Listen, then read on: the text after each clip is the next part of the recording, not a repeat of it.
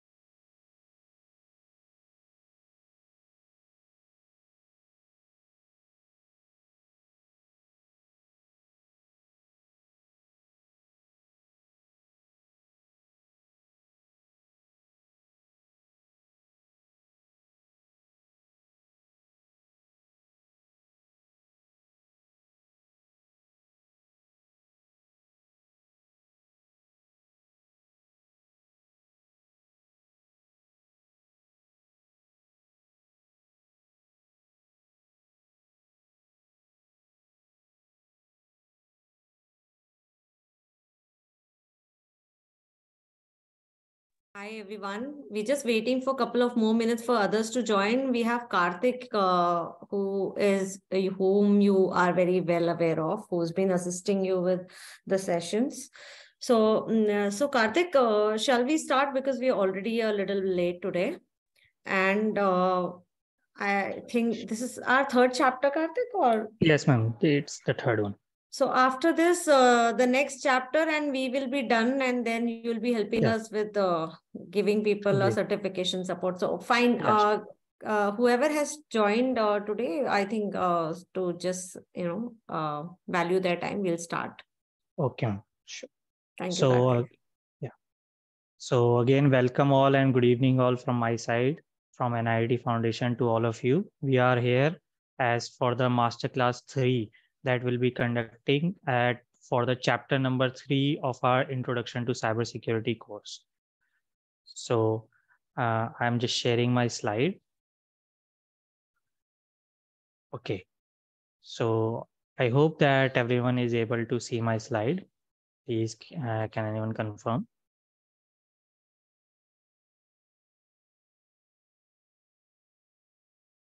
It is visible, Karthik. Yeah. Okay, thanks. So today we'll start with our chapter number three, protecting our data and privacy. Give you a summary of the brief introduction, like what we discussed in the previous sessions, because it has been a gap in previous and today's classes. So in the last sessions, we learned what cybersecurity was. We learned what different types of threats there were, the different types of attackers, and the different types of attacks using malwares, using um, uh, using malware and using phishing attacks, using denial of service attacks. There were many different types of threats and attacks we talked about. Now we will move on with that with the protection side of cybersecurity. Like what can we do to protect our data and privacy at a very basic and personal level? Any individual can do these steps and should do these steps to make sure that our personal information that we learned about in chapter number one should be protected. So we'll start this chapter with the topic of protecting our data first. Now we'll first discuss how to protect our data.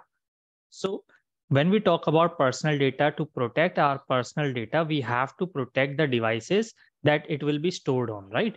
To protect our data, we have to protect the devices like our mobile device, our laptop device, our lap tablets, computers, servers, whatever we have to protect the devices that we our data is stored on. That way our data will be protected. So to protect these devices there are many steps and many solutions available to us. First being we can always keep our firewall on. Many of you might know what a firewall is but those who don't know firewall is a deeply you can say component that is already embedded in your windows systems. If you are using windows laptops or computer systems it is a component that is inbuilt inside your operating systems. Even if you use a wi-fi router or any other devices that firewall is also available incorporated inside of them as well. That firewall has the ability to protect your devices from any kind of unauthorized access from the internet or if any data is coming from the internet to your devices it will block that. And if your data is going from your computer to the internet like some attacker is stealing it it will block that as well. Any kind of unauthorized access will be stopped with the help of firewall. The main thing we have to do is making sure that this firewall is always up to date and it is always on. Because as you might remember in the last uh, last masterclass, we talked about some kind of malwares that was a bot malware. A bot malware has the ability to make sure that without your knowledge, some kind of action, some kind of specific action that any attacker wants can be done with the use of a bot malware. So an attacker might install a bot malware in the attachment that you are downloading that can turn off the firewall in the background without even your knowledge. So we have to make sure that this firewall of ours is always on on and up to date. We can always check this firewall option if it is on or not by going into our control panel. So if you see my system right now, I am opening up my uh, start menu right here. I'm using Windows 11. You can take this example. So after opening the start menu, I will just type control panel in the start search bar. And you can see I can open it right here. In the control panel, as you can see in my control panel, at the bottom of it, there is a Windows Defender firewall. We can click on it And you can see that my firewall is right now on on. It is protecting me from all unauthorized access coming from the internet. If by some cases your firewall is off, then you can go right here. There is an option, turn Windows Defender firewall on or off, and you can go to turn it on again. So that's the first step. You can say the first boundary of protection we have that we are, our firewall should always be on to protect any kind of unauthorized access from our system. Then we should make sure that our computer has a very well authorized uh, anti-malware solution on in, installed on it, right? Because there are malwares around, the attacker has the first opportunity to attack with a malware. We should make sure that our devices have an anti-malware because these are specially created softwares these anti-malwares these are specially created softwares that has have the ability to scan your computer and automatically detect any kind of malware if it is enters your system like in your pen drive or your link any kind of malware anytime your malware is inserted into the computer it automatically detects the malware and captures that link or the software or the icon that contains the malware and stops its access. So that whenever you try to double click the file whenever you try to open up the file that contains the malware you, it will not be opening because the anti malware has blocked it. It has captured the malware and kept it in a cage you can say. So our job is that we should always install an anti malware on our system. There are many third party anti malwares available in our industry, such as you might have heard about Quick Heal anti-malwares, McAfee, Norton, Kaspersky. These are very well and good purchasable anti-malwares that you can purchase from online services, or you can go to any kind of industry market and you can get anti-malwares from there as well. But if you are looking for a free version, as my sometimes are my students ask me that, uh, sir, can we install any? There are any free versions available because we can't afford such uh, uh, expensive anti-malwares and such. So yes, we have also as if you are keeping updating your computer in the Windows 11 and Windows 10 versions, there is a, a utility name Windows Security if you see my start menu, I am typing Windows Security. This in the previous versions of Windows was called Windows Defender, but in Windows 10 and Windows 11, it is a very good embedded inbuilt anti-malware for your entire system that protects your computers from all viruses, spywares, ransomwares, and such. So if you want a very good free version of an anti-malware, you have it in your Windows 11 your one job is to make sure that is it is up to date because that comes up to the third point of our protection computer devices. That is, we have to make sure our operating systems and browsers are up to date and organized. Many times, in my experience, we have seen that uh, many systems that are being slowed down, that many systems have a hanging problem, is due to the fact that many times people don't organize their files and folders. We have seen desktops filled with icons and folders. We have seen the C, C drive that is the component that which in the that which the Windows is installed. So if that folder, that C drive is filled up to the brink, that's why your computer slows down. It starts hanging up. So we have to make sure that these drives are empty. We, our data, our files and folders are organized in such a way that computer doesn't have the issue of storing up all this bulk information here and there right? And we have to make sure our devices even if it is an android device you are using a mobile phone or your laptops or anywhere it is up to date. Because at the end what is happening? These are softwares these are applications softwares operating system these are programs created by human mind. And being human is to create some errors. Being error is a human right? So there might be some kind of bugs there might be some kind of software flaws vulnerabilities inside of a software. A company or an organization what does they do for these flaws and bugs?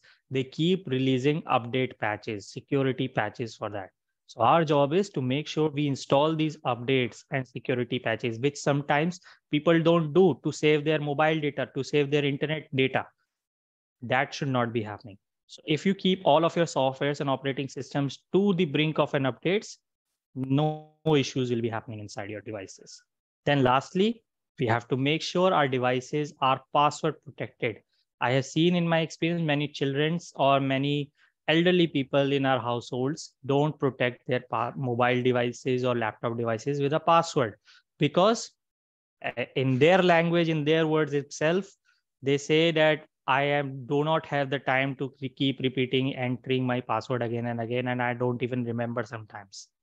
So that should not be the case.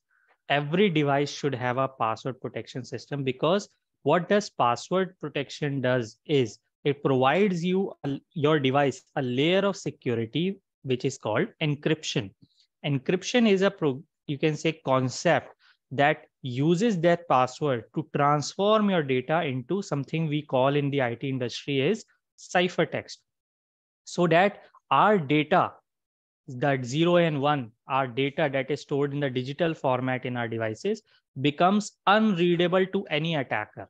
If that attacker is not able to crack our password or not able to access our device, he tries to steal that information. And in order to do so, he won't be able to read our data because we have encrypted our devices. Right. So that is the last part. Always keep your passwords, uh, devices password protected, be either it a laptop or a mobile device. Then we come to protecting our networks. Right to protect our network because our devices are now protected. We have implemented passwords, we have implemented firewalls, anti-malwares. Our devices are protected. Now, the only threat we have is that an attacker is coming from the network. So we should also protect our networks as well. Because nowadays, everyone is using Wi-Fi services as well. There are many broadband services where at a very cheaper cost, and there are many high profile 5G internet services such as JioFiber, Airtel Xstream Fiber, Excitel Fiber. There are many kinds of services that are available right now for, uh, uh, for normal people users and even in organizations. So we have to make sure that these Wi-Fi connections that we create, the Wi-Fi network, private network that we create is protected from any unauthorized attacker. And for that, we can implement certain, uh, you can say steps for that. First and foremost, we have to change our preset SSIDs. Now, what is an SSID? SSID is for service set identifier. These are your Wi-Fi names in the sense. If I let you take, uh, if I just give me a second, I'm opening up my Wi-Fi settings to show you what an SSID is if in if you search your Wi-Fi name, like in your mobile phone or in your laptop, you might see that there are many Wi-Fi names that are available to us in your locality, such as in my locality, there are many Wi-Fi available to me. So these are my SSIDs, these names, right? So whenever we implement a new Wi-Fi connection in our home, such as if you buy a new connection from JioFiber, the technician will come to your house he will implement install a new router and he will just give you a default company name as your ssid for example when i ins installed my JioFiber it gave me the ssid he gave me the ssid JioFiber underscore my registered phone number now my phone number is now being broadcasted all over my locality that should not be the case because my personal phone number is now leaking to everyone so our first job is to to uh, change my SSID so that only I my I can control what my network should display or not. Right. Second step is to change the default administrative password. This is a very easy leak. So where many students even control take control of your wi-fi situation in your homes or in a company or an institution where the default administrative password is not changed what is the default administrative password? Let me show you again. See, to access a router, a router, a Wi-Fi router has its own operating system where many configurations are done, such as uh, inserting a new SSID, creating a new password for your Wi-Fi, creating an administrative password, more and more, many IP addressing configuration. There can be many con things configured in your Wi-Fi router. But in order to do that, we have to access your router how to do access your router every Wi-Fi router has an IP address. So to access your router, you can just go to your any web browser such as Google Chrome, Opera, Mozilla Firefox, whatever web browser you want. You can just type your wi- router's IP address such as am I typing mine and you can see it opens my Excitel router for me. Now it asks me for a username and password. This is not the Wi-Fi username and password. Wi-Fi name is called SSID, not the username. So in every router in the whole world, no matter what company it is created, be, the, be it is Intel, ITEL, IBM, uh, D-Link, Jio, Airtel, Huawei, there are many companies available, but each and every company and each and every router has the same default administrator username and password, right? Which is, you can let me, uh, uh, uh, everyone knows it. Some people in my our chat box might know it and some not know it, right? But if you search on Google, you might know it. Yes, many people are writing in the chat box. Exactly. The username is admin and the password is also so easy, admin itself, all in small letters, right? That is the most default thing every router does. So the first step we have to do is we have to change this password. For security purposes, I already have changed my security password. So I am now logging in with that. And you can see I can go into my admin uh, option and I can change my security password.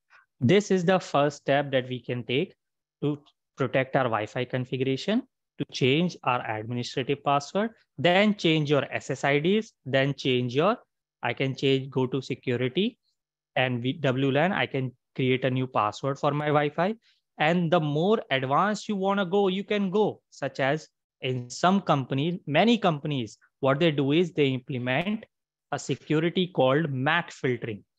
This MAC filtering allows you, any organization, or in your in our homes as well you can implement it in our in your homes where you can create a whitelist or a blacklist based on the type of action you want to do like if i create a whitelist only people i allow will be able to connect to my wi-fi no one else can connect to my wi-fi.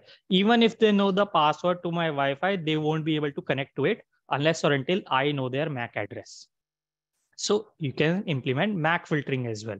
This is what we teach in you can say high level networking courses for students and such. But if you want you can do that to learn that stuff. But it is also a very highly security measure to create in your wi-fi protection. So that way our wi-fi network is more secure. If our wi-fi network is secure then all the devices that we connect to it says our laptops mobile devices. Even nowadays we connect our smart home devices such as google home alexa and smart bulbs and such to our wi-fi. They are protected right?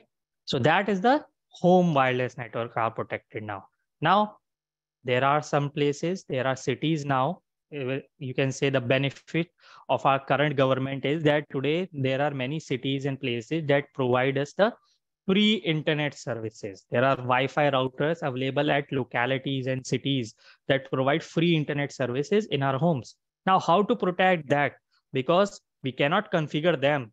We can configure our own personal Wi-Fi, but we cannot configure the free internet, the governmental routers and such. So how to protect against that? There is a slight method that many people use eh, that is called a VPN service. Now, many people know about VPN. It is called a virtual private network, and many people use VPN in their mobile devices, in their web browsers, and such. What does VPN do? It is some kind of if if anyone I, I if I ask any student or anyone here that what VPN is. They will say that, sir, it is a technique that allows us to hide our own IP addresses. Yes, it does. And many times students only use VPN to go to uh, play games, to access some websites that are banned in India or such and such.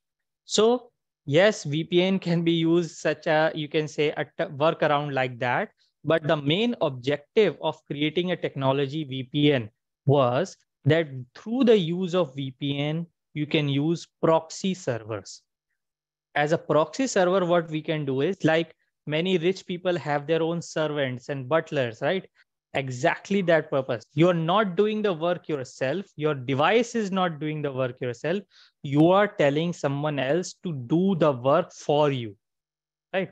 If you want to access some websites, if you want to access any device, instead of sending the request from your own device, you connect create a private encrypted channel to any other server in the another country such as singapore. And then your request will then go from that singapore server to the destination. Instead of going directly from your device your request will go first to the singapore server then to the other server what does that benefit give us is that that when the destination server suppose youtube.com tracks you back like which ip address is requesting my service then it does not uh, you can say capture your ip address or your location. It captures the ip address and location of the proxy server. In you can say indirectly what is happening is my location and my ip address is hidden and every time whenever i want to access any routers or any systems or any wi-fi device or any websites the request will go from that server. That is the benefit of VPN because in a public network, whenever we connect to a public Wi-Fi router where, where free internet services are available to us, what happens is 100 or 200 people are connected around you, right? Like at a train station where Wi-Fi service is available you are not the only one that is connecting. There are 100 200 people around you that are connected to the same wi-fi. Nobody knows nobody has any idea if an attacker is also among the 100 people around them.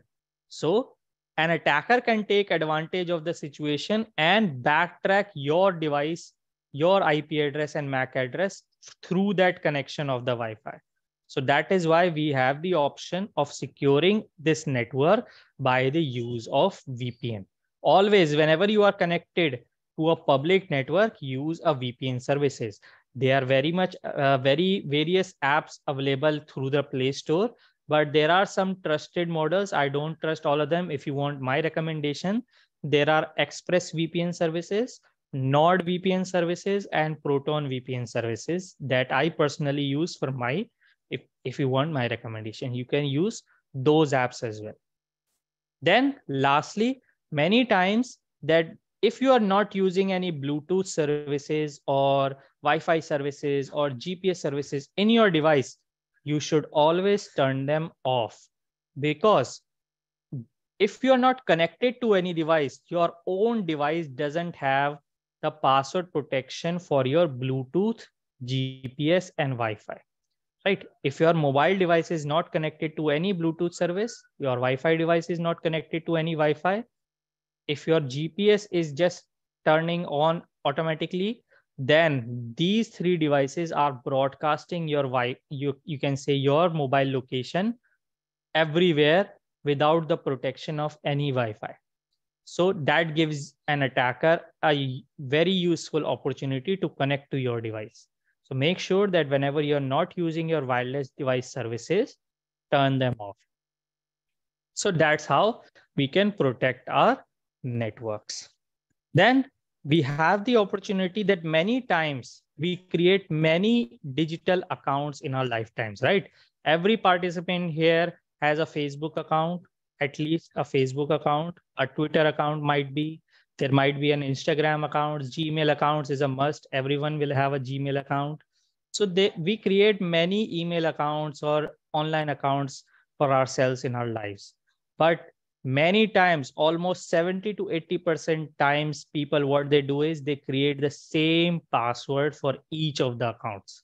Either it is your bank account, your Gmail account, every password will be the same. All accounts will have the same password that is a very bad practice to follow because if an attacker cracks one password, he now has access to all of your accounts.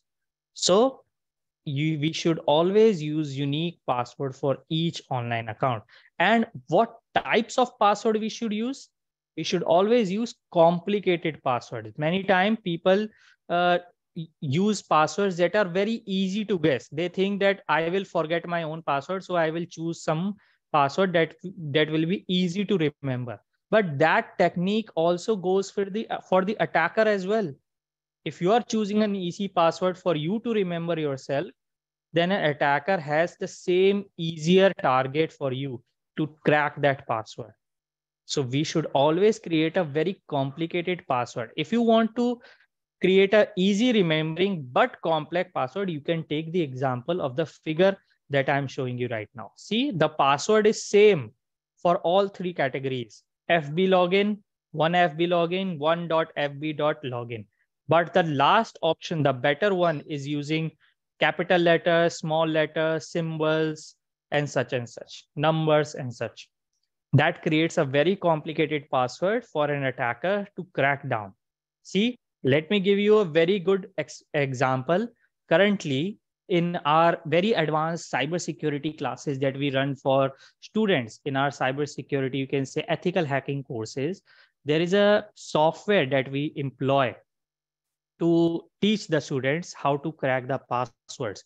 And in that software that attackers also use, that software takes at least uh, five minutes, or you can say five to 10 seconds for a two letter password. If your account or folder or any kind of account has a two letter password, it, it can be guessed, it can be cracked within five seconds.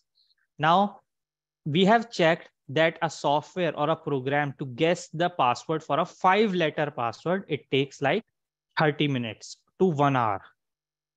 So as you might guess where I'm going, many of the accounts in the uh, Gmail or wherever, you might see that every type of digital account, you are recommended to use the password more than eight characters. Why do we do that?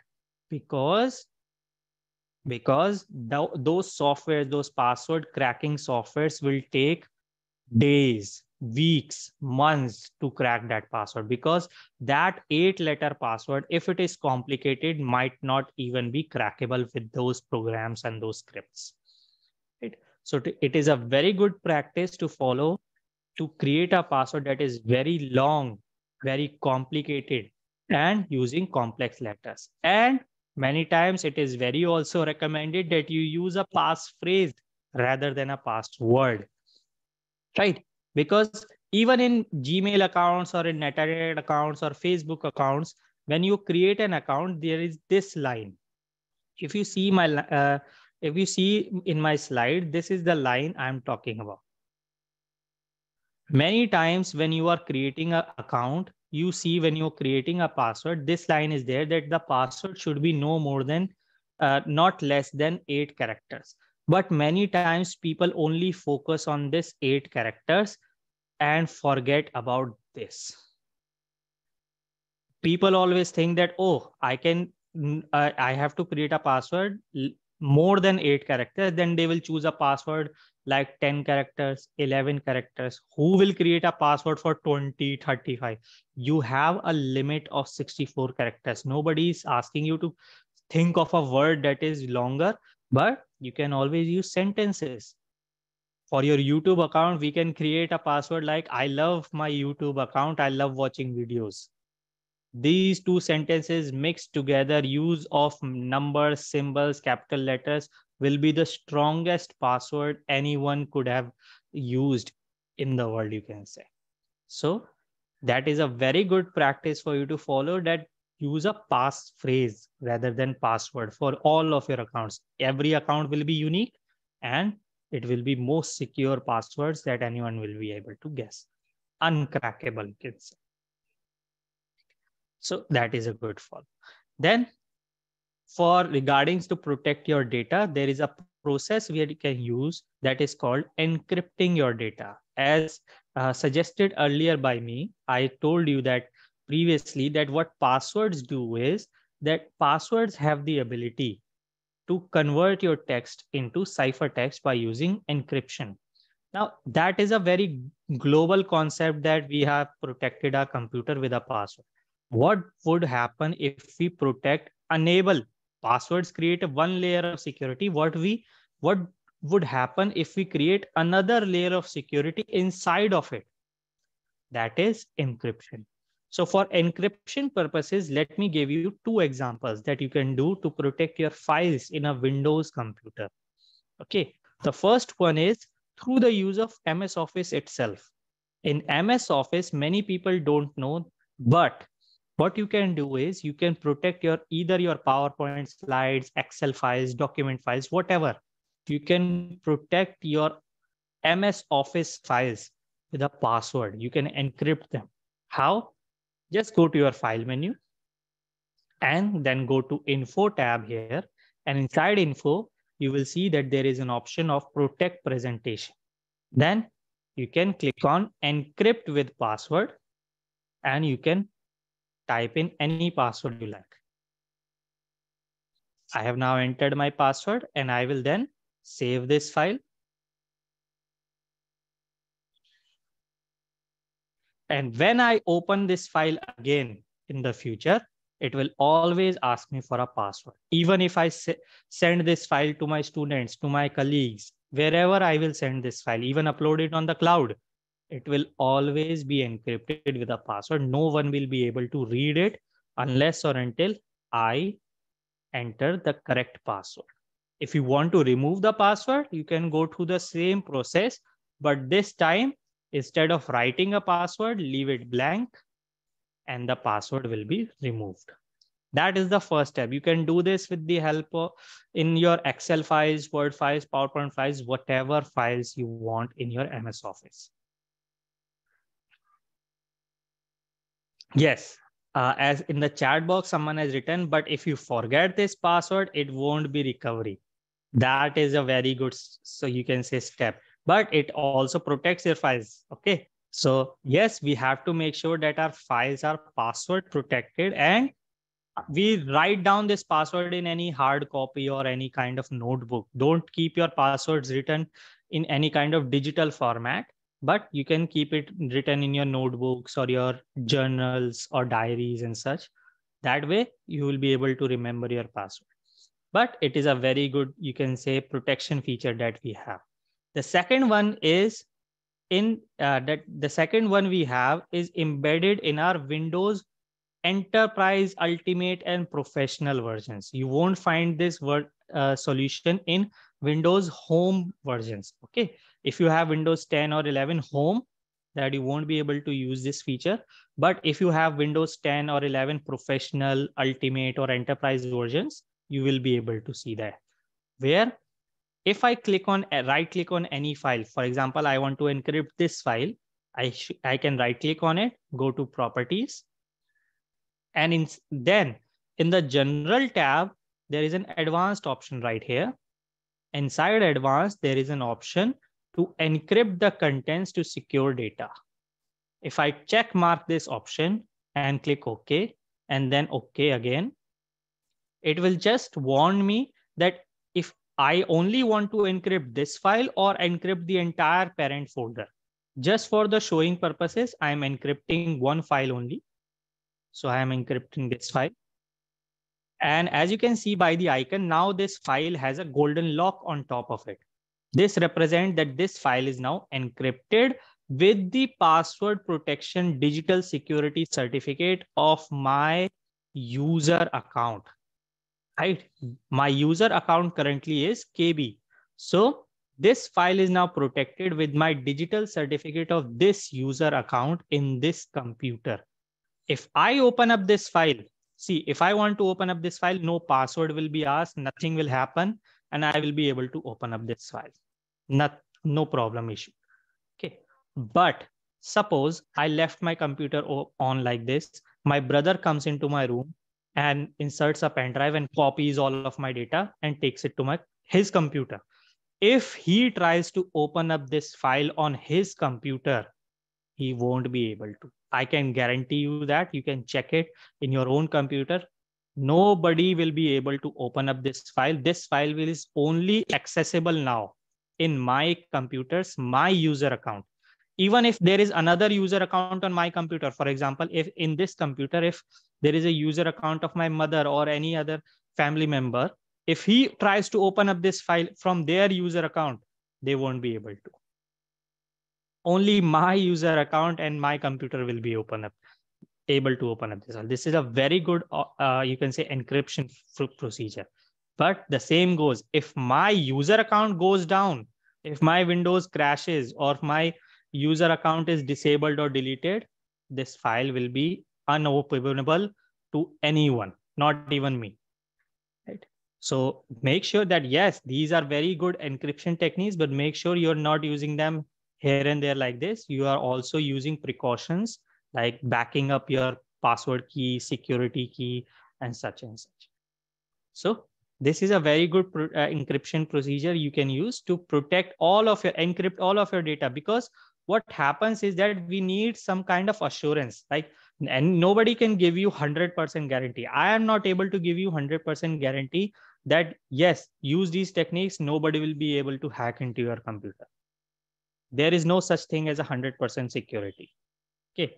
But i can give you such insurances that even if that attacker is more advanced than me somehow and he attacks your computers and he steals all of your information that information is useless to him because he won't be able to read that data open that file or nothing. That is totally garbage for him. So this encryption provides you this kind of assurance then we have to make sure our data is backups before encrypting any of your data in your devices make sure that all of that data is also copied into another location in your external hard drives, pen drives, Google Drives, if you're using online services, online cloud services, AWS, Google, wherever. So make sure that all of your important data is having a backup copied onto another location so that in the event of a data loss, Windows crashes, or your devices, your files become unaccessible, then your data will be recoverable from somewhere else. Right? So make sure your data is backup, is protected somewhere else, copied somewhere else as well. Then we lastly come to safeguarding our privacy. Now, there are some services that are available to us online or offline that we many organizations and many people also use for protection of their own privacy, for their own accounts, for their own personal data data stored online. So for that purpose, many organizations use two-factor authentication, such as using a credit card, ATM card, phone or fob, or your biometric services such as fingerprint, palm services, voice recognition. In spite of using a password, they use this secondary technique as well like in your ATM machines, right? ATM machines have a two factor authentication. You insert your ATM card, first level of security, then you enter a PIN code as well, second level of security. Many organizations, such as uh, I have, um, let me give you another real life example. My brother works in Infosys. So, in that uh, organization, uh, what they have done is that they provided him with the uh, you can say this security fob that you see in this figure here in this hand. To log into the company system they, he has to enter the username and password. And after even after that that security fob contains some digital codes inside of it that he has to enter. And that digital code code is changed every minute. Every minute that code is changed. So that nobody will be able to access his computer based on the previous information. If somebody gets, uh, you can say, uh, access to this code, that code will no longer be available within the next minute. So there are many techniques available for this two-factor authentication. We should always use services that provide us some kind of another authentication services as well. Many online websites such as Google, Gmail, YouTube, Facebook, these kinds of web online services employ these kind of two factor authentication services where after uh, logging in with your passwords they uh, sent an otp to your mobile phone or your email id to confirm uh, your identity. That that way your privacy is secured. Then there is another protocol for authentication that is used by many online services that is an open standard protocol called OAuth 2.0. This is called open authorization services, where many websites, instead of creating user accounts on their own servers, they, you can say, middleman that information. For example, I want, I have uh, gone on to newer website or and they are asking me that to access their services, I have to create an account on their website. But I don't want to create an account on that uh, website. I'm only there for the first time. I don't want them to have my personal information, my address, my email address, my phone number, and such and such. But those websites have the ability that, yes, okay, if you don't want to create an account on my server, I have Google as a client. I have Facebook as a client. You can employ, uh, you can log, just give me permission from your Google account or Facebook account so that I can verify that this is, you are a human person. You are not some kind of malware or bot created by an attacker that is trying to access my server. So you can also implement such kind of securities. Many organizations employ that kind of security and you can trust these kinds of services. So many times if you have a doubt in your mind that this serv- this website is asking Google to click OK on it, then you can trust that because what they are doing is they are just implementing Google and Facebook for their own security purposes. But yes, they uh, uh, ask Google or Facebook to be the middleman. So that is the security. Then, lastly, as you might have heard this many times in your life, and you also might be uh, spreading this kind of awareness among many people, is never to share as or all of your never share all of your information on social media. Share as little as information as possible because many times what students and children do is that all of their history from their uh, second class from their kindergarten all of their information is stored on facebook and twitter and instagram. That way when they get, go on to create their bank accounts their internet banking ids there is a security question that they have to fill such as what is your mother's maiden name? Where what is your pet's name? These kinds of security questions are there in case they forget their password. So an attacker can just click on the link forgot password and by the use of this information that you have already shared publicly online, gain access to your accounts.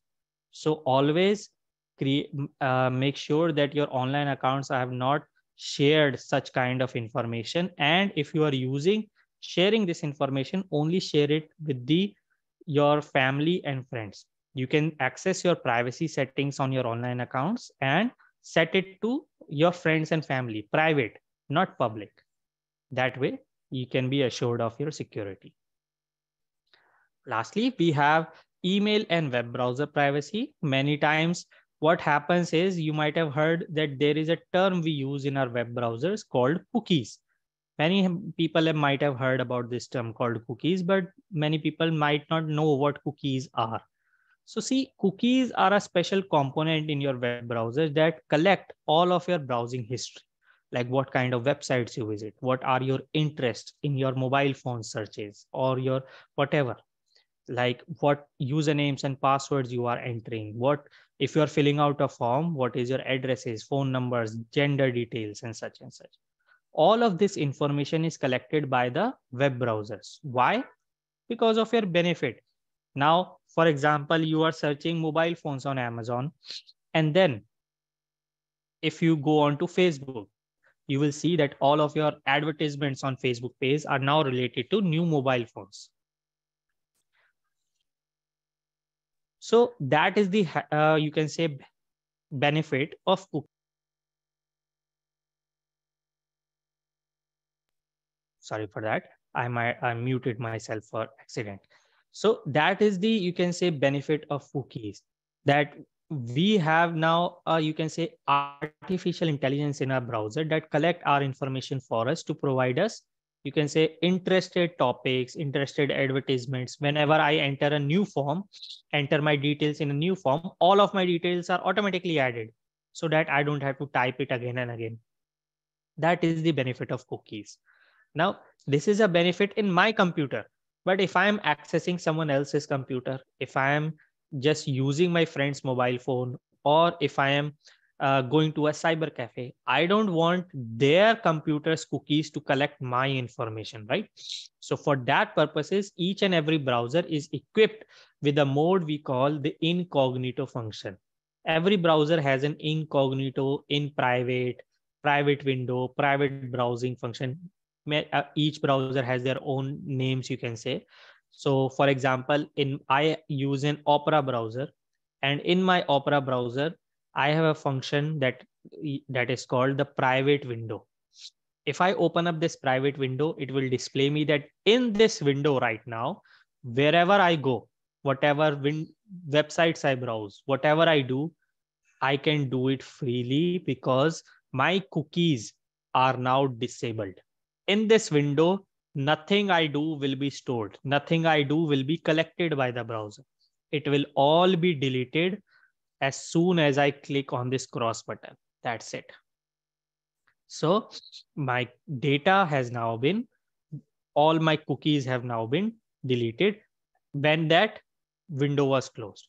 I if, if I do anything browsing on this window, my cookies will be collected.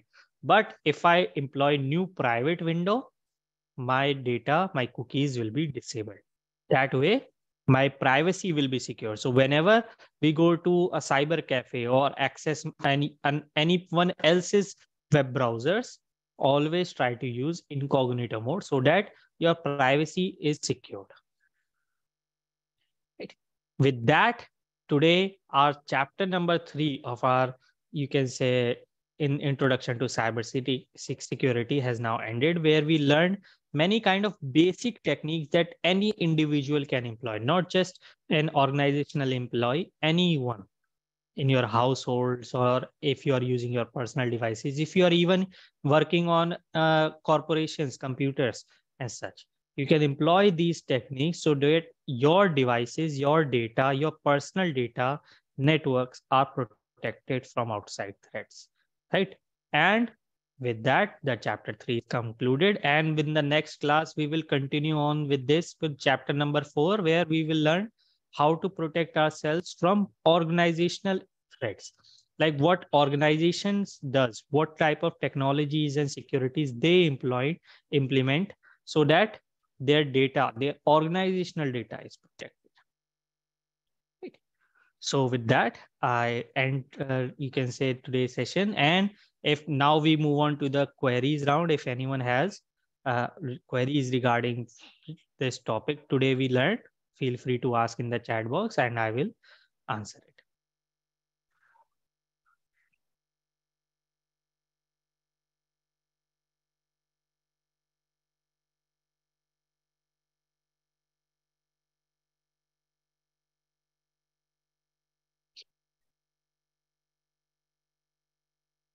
Uh, what is your uh, opinion on password manager? Do you recommend any?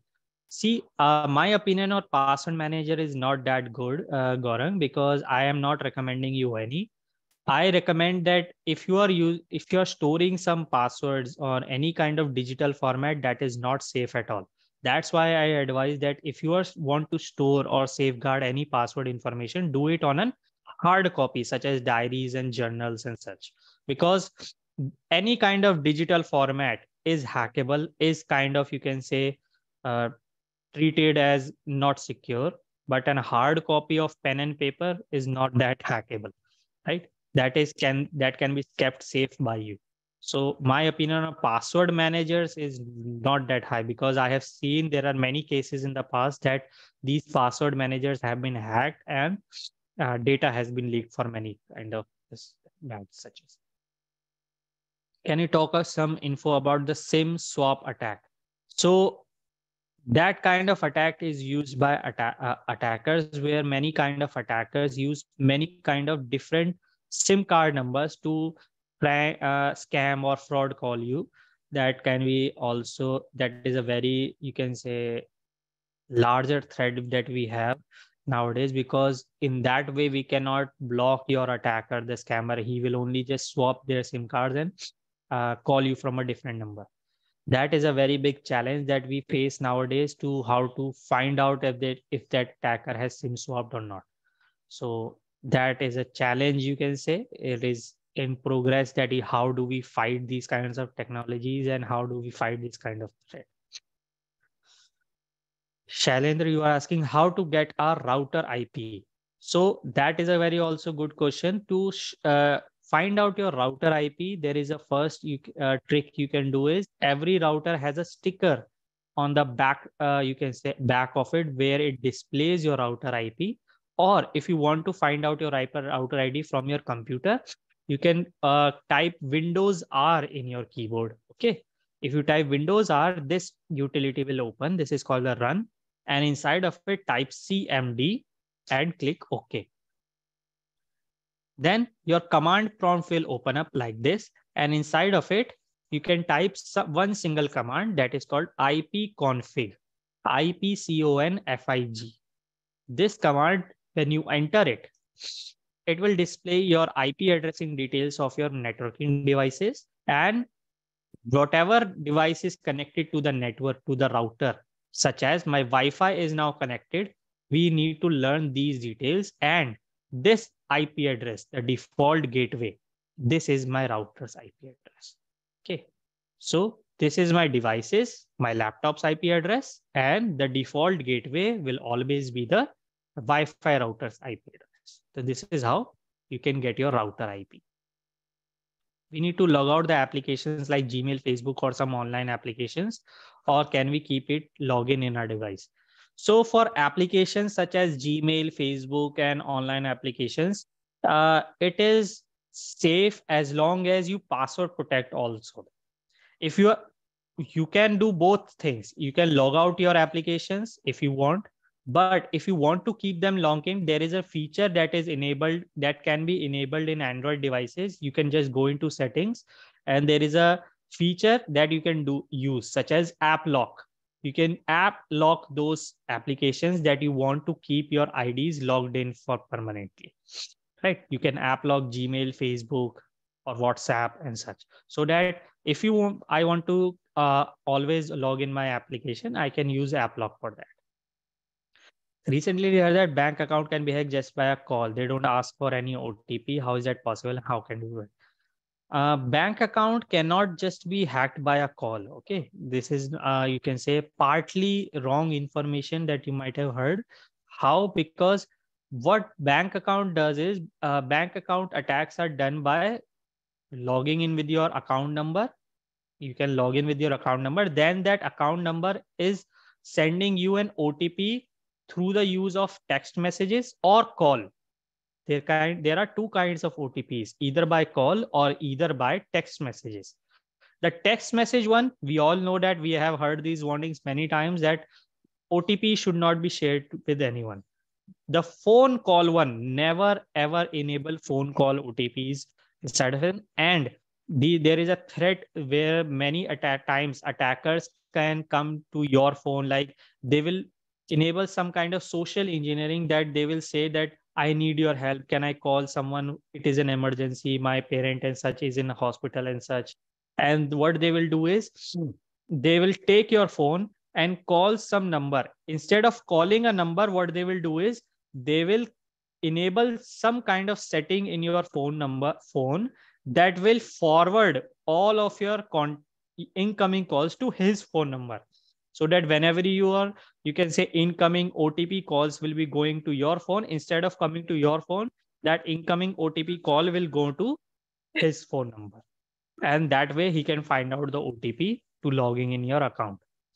That is how the bank attacks are hacking hacked by just a phone call you can say.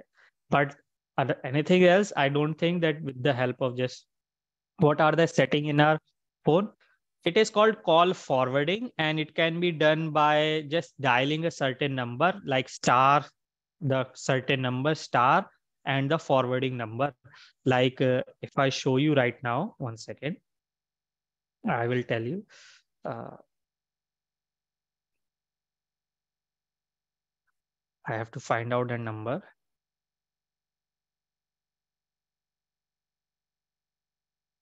It is uh, the setting is and the technology, the concept is called uh, call forwarding. He sets up call forwarding inside your phone number to forward all the calls that are coming into your phone to the his number.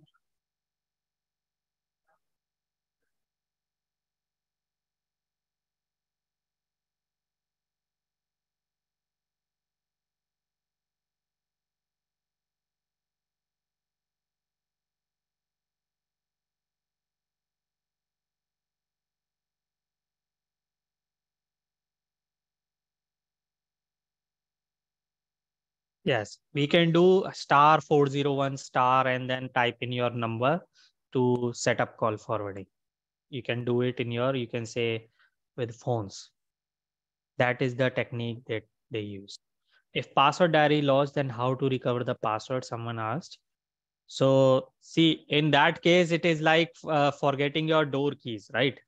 Do not ever lose your password. No, there is no way to recover the passwords for your accounts or your uh, computer systems password, your app lock passwords.